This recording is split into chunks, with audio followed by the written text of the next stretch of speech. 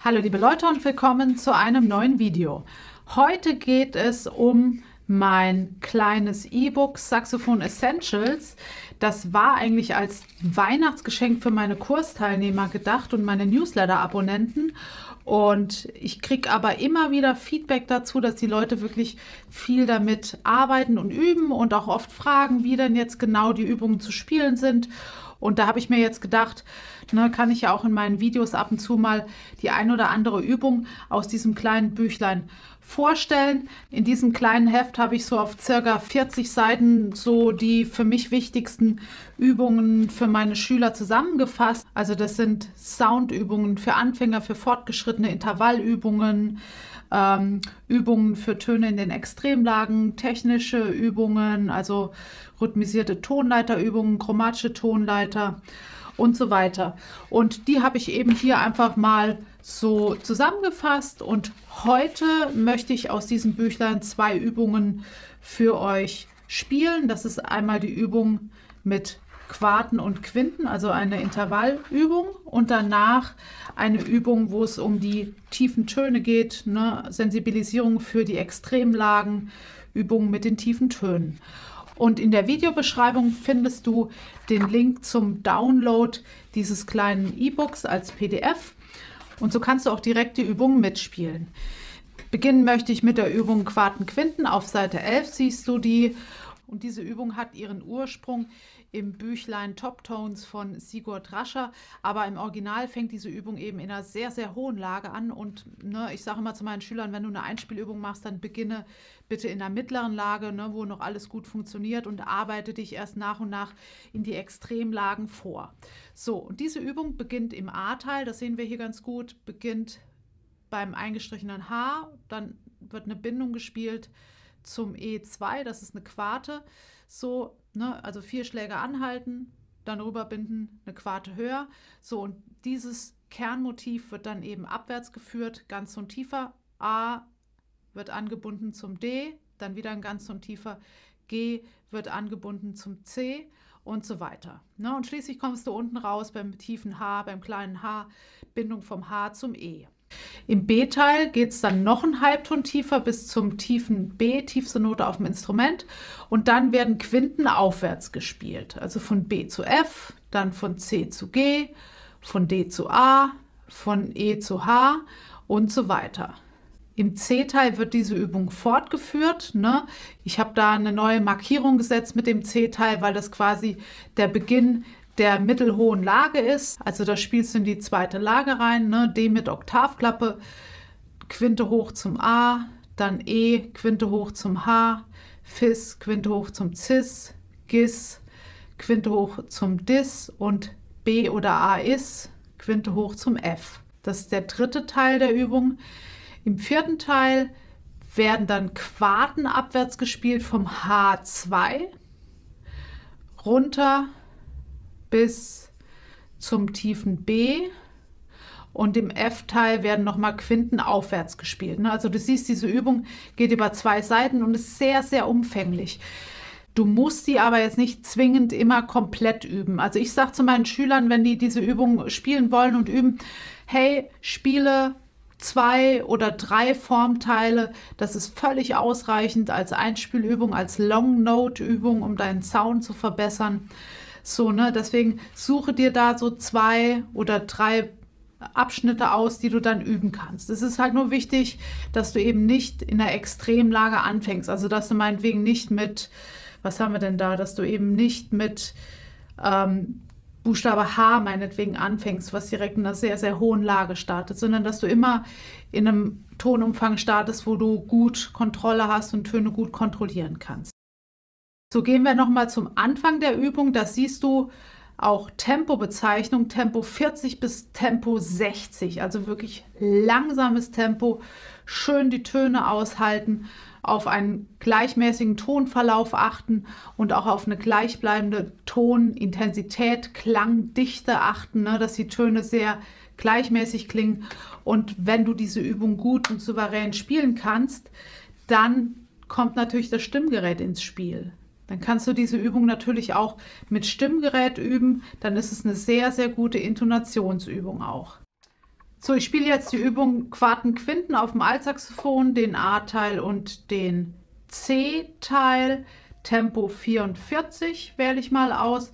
Und hier ist auch entscheidend, diese Übung ist sehr anstrengend, dass du genügend Pausen machst. Also wenn du nach vier Takten oder nach sechs Takten feststellst, oh, ich habe überhaupt keinen Ansatz mehr, dann ruhig ne, acht Schläge mal Pause machen und wirklich hier entspannen.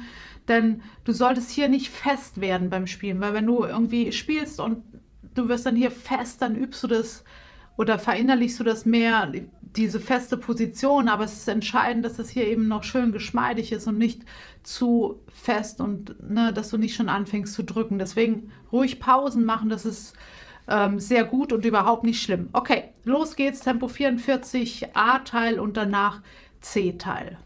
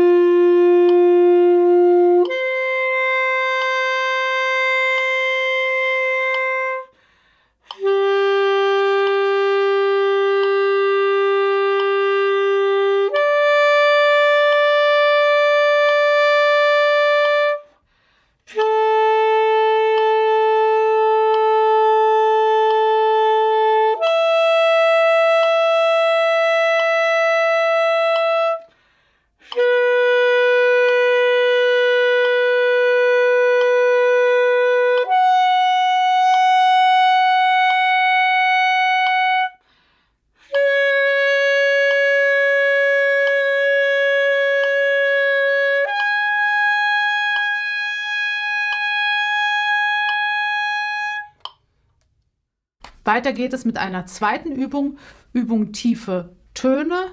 Die Töne in den Extremlagen, die müssen wir zwangsläufig separat üben, weil erstens brauchen die Töne in der Extremlage viel Zuwendung, weil sie ne, oft nicht so einfach erstens mal von der Tonansprache zu treffen sind. Intonation ist auch oft ein Thema und auch bei den hohen Tönen ist auch oft das Greifen oder bei den ganz tiefen Tönen auch das Greifen ein Problem, weil man es nicht so oft macht und die Finger sehr gespreizt werden müssen oder der kleine Finger ja bis in die Randlage sozusagen greifen muss. So und allein deshalb macht es schon Sinn, diese Lagen mal separat zu betrachten.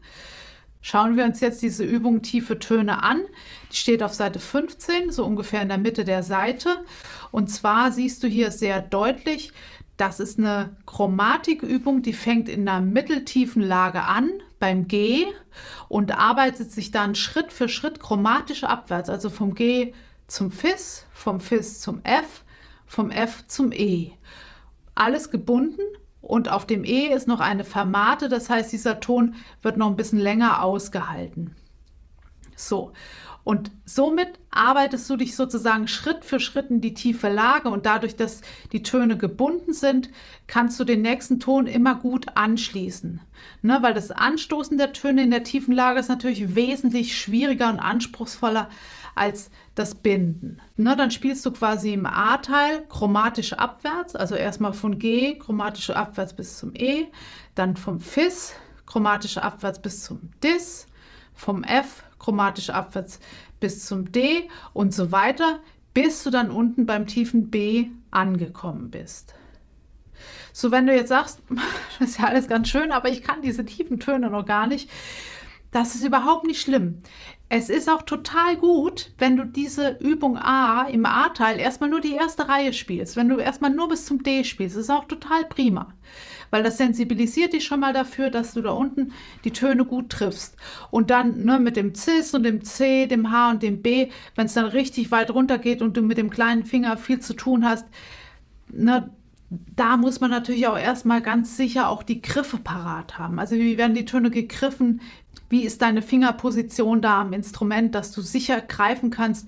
Und ne, nur wenn du auch sicher mit den Griffen bist und auch die Klappen richtig geschlossen sind, kommen natürlich auch die Töne raus. Weil ich erlebe es halt immer wieder, dass die Leute so ungefähr wissen, wie die Töne gegriffen werden, aber eben nicht so zupackend dann eben ähm, greifen. Das heißt, ne, wenn ich jetzt ein tiefes H greife, dass ich wirklich genau weiß, welche Klappen geschlossen sind und dass wirklich auch ne, das total sicher ist und die Finger genau wissen, wo sie hingehören.